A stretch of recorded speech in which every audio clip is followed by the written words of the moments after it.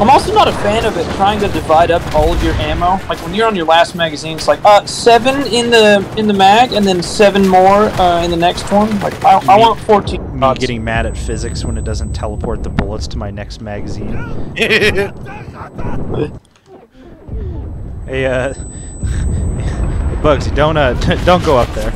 All right. No, I think I will.